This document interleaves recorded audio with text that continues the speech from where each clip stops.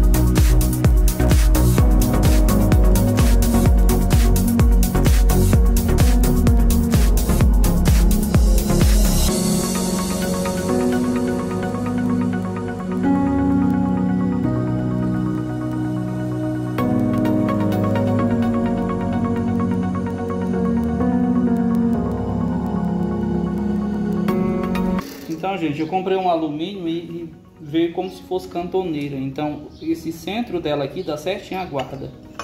Tá certo? Então, a gente não pode perder. Aqui dá, vai dar quatro guardas, né? A, a, a serra que eu comprei, eu comprei Starret, que eu, eu gosto de comprar as coisas original, né? Então, tá aqui, ó. Ela é dente grande. Se fosse dente pequeno, serrava até aço viu? Ferro, essas coisas. Mas eu vou estar tá comprando uma mais larga e com dente grande, tá certo?